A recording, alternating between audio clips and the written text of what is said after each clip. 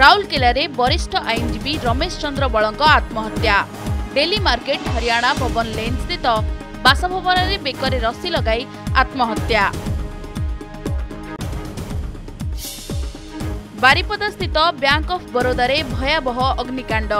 विद्युत सर्ट सर्किट्रुँ लाग अनुमान निया आयत्तला अग्निशम बाहिनी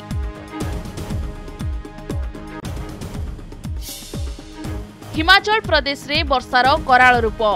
भूस्खलन ओ बादल फटा वर्षा षोह जनको मृत्यु भी मिलुनी पत्ता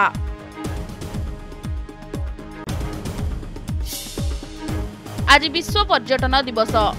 बालुका कल पर्यटन दिवस र शुभेच्छा जनशा आसेको आमन्त्रण कले बालुका शिल्पी मानस साहू